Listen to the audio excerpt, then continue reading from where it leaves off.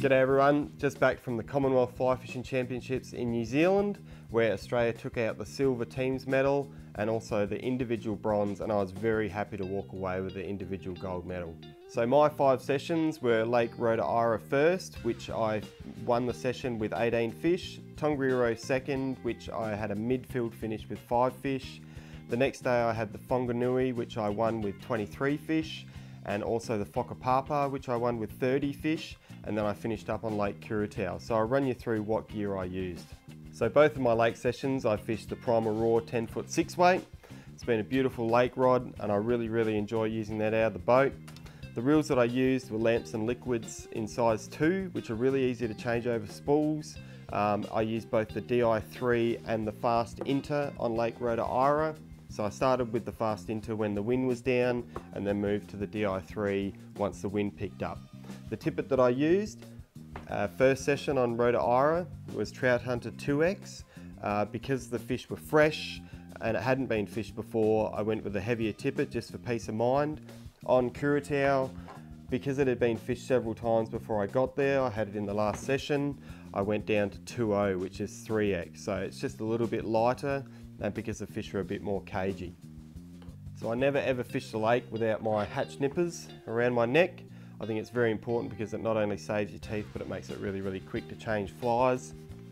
All of my flies are rigged up on pre-rigged leaders. So I have a foam board that's got two spare pulling leaders, a nymphing leader, and also a plonking leader.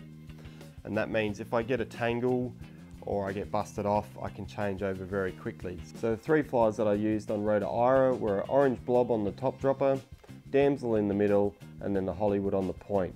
And those flies caught me pretty much all of my fish during the session. On Kuratau, I stuck with the blob on the top dropper.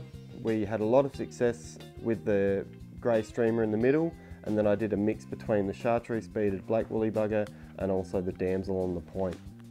For all of my river sessions, I use the new Primal Zone 10 foot 6 three weight. It's a beautiful rod, great for Euro nymphing, gives you a lot of reach and it's a good mix between being able to land those little fish and also get those bigger fish in too. So that was an absolutely beautiful rod to use during the competition and caught all of my fish. My reel was the Lamson Liquid in a 1.5 and that's got my Euro nymphing leader on it. I caught a few fish in the Tongariro dry dropper but every other one of my fish was caught on a Euro nymphing rig. So I used a very small selection of flies on the Whanganui and the Whakapapa because I think fly selection is a very small part of success whereas work rate and your technique is far more important on those rivers. So I used a mix of both upstream and swinging techniques on the rivers with these flies here. I used a mix between pink and gold squirrel and also the copper headed claret fly. Uh, and I also used a mix of bead sizes as well. So I used anything from a three to a three and a half and a four mil bead during my session. So the tippet that I used on the river was four and a half X TroutHunter fluorocarbon, which is 0.16, and I used that throughout the entire competition.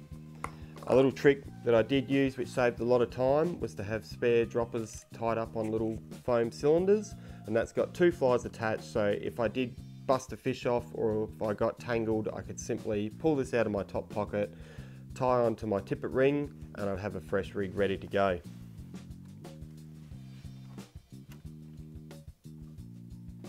So throughout the entire competition, I used the Solarflex shirt from Simms, which is a very, very comfortable shirt. It allows me to move around easily. I protected my face from the sun with a Simms gaiter. I also wore waders throughout the competition.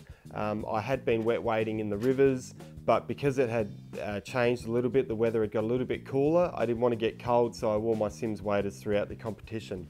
So for my boots, I wore Simms Vapor boots, but importantly, I had a good mix of both aluminium and tungsten studs. So the aluminium's there for hard rocks and then the tungsten's there for the papa stone too, which is very, very slippery. So having a mix of the two gave me good grip in the rivers.